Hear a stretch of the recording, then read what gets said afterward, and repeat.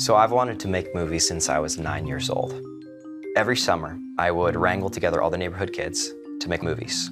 I never imagined what would actually happen when I would fly to South Korea to film a movie about saving Korean babies off the street, and I had no idea God was going to save me. What I love about movies is they give us back some of what we've lost. What film can do is it can say, hey, here's a happy ending. Sin brought suffering into the world, but God's suffering is bringing it out.